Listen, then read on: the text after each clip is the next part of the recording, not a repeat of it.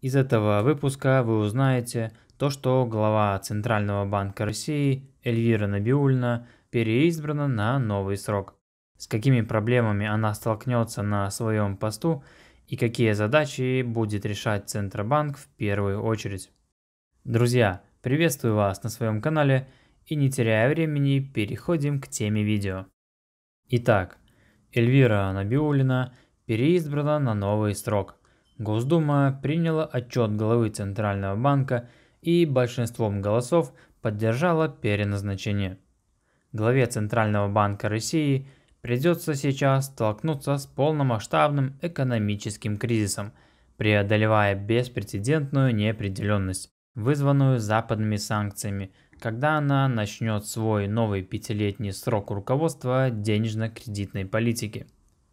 Большинство законодателей в Нижней Палате Российского парламента проголосовали в четверг за повторное назначение Набиулиной на пост главы Центрального банка, поддержав выбор президента Владимира Путина. Теперь Набиулиной предстоит провести зависимую от сырьевых товаров экономику через самый резкий спад с тех пор, как в 1991 году распался Советский Союз, борясь с инфляцией которая в этом месяце уже ускорилась до 20-летнего максимума, до 17,5%. В четверг глава Центрального банка заявила законодателям, что ее приоритетной задачей является обеспечение наличия финансовых ресурсов для предстоящей структурной трансформации экономики. Центробанк сейчас рассмотрит вопрос о снижении ключевой процентной ставки с 17% на ближайшем заседании Совета директоров, которое должно состояться 29 апреля. И Набиулина также добавила, что намерена вернуть инфляцию к целевому уровню в 4% к 2024 году и отметив экономические проблемы, с которыми столкнется Россия. И как мне кажется, Набиульной в будущем – предстоит еще один сложный срок на посту главы Центрального банка.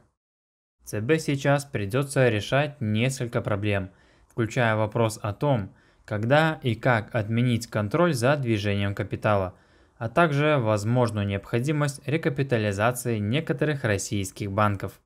Короче говоря, у главы Центрального банка России получается много работы.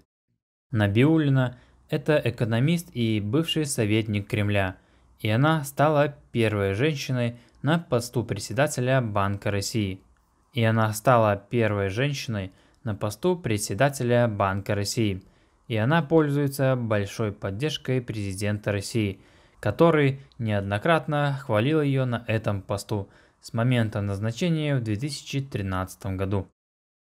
Набиулину уважают как одного из лучших центральных банкиров мира, отчасти за ее усилия по сдерживанию инфляции, но в апреле этого года против Набиулиной были введены санкции в рамках масштабных санкций Запада против России за то, что президент называет специальной военной операцией в Украине, которая началась 24 февраля.